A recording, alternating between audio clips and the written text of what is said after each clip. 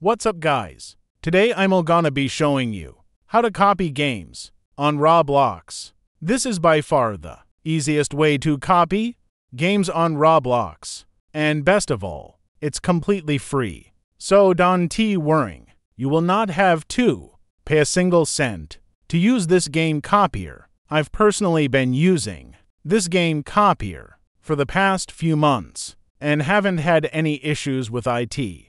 Without further ado, let's get into the tutorial. First of all you need to do to copy games on Roblox is to head over to our official game copier page. I will leave IT linked in the description of this video. After that, head over to the page of the game you want to copy. In this tutorial, I'm gonna copy Natural Disaster Survival. Right click on the page and press Inspect Element, or press Ctrl Shift plus I on your keyboard. Then click the Network section in the Inspect Element menu.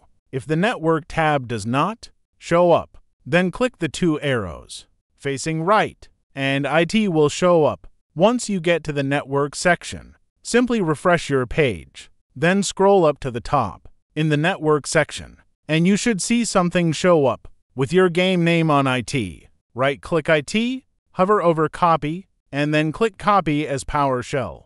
Once you copy that, head over to our game copier page and paste the game code you copied into the box. Then click Copy Game. It should copy your game and download IT in around 30 seconds.